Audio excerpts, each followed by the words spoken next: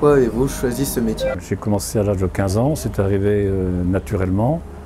Je travaille avec mes parents, je les aide, par la suite je fais des livraisons, on reprend l'activité avec mon frère et on crée une cave à vin un petit peu avant tout le monde en 95. Un métier qui me passionne, c'est le contact, c'est la connaissance des vins. Je fais beaucoup d'événements, euh, mariages, euh, concerts, euh, sportifs. Quelles sont vos missions Alors d'abord, c'est de rencontrer des vignerons, euh, découvrir des nouveaux produits.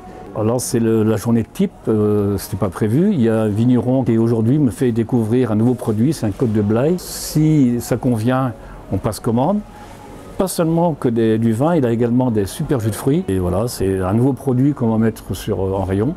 Vous renouvelez assez souvent votre gamme de produits. Le but dans une cave, c'est qu'il y ait une bonne rotation, il faut que ça tourne, il faut que ça plaise. Quelles sont vos spécialités dans, dans cette cave Alors aujourd'hui, on a augmenté notre gamme. euh, on ne fait, on fait pas seulement que du vin, on fait également du thé, de la charcuterie, de la confiture, des, des paquets cadeaux. Et concernant euh, les appellations, euh, on les fait pratiquement toutes.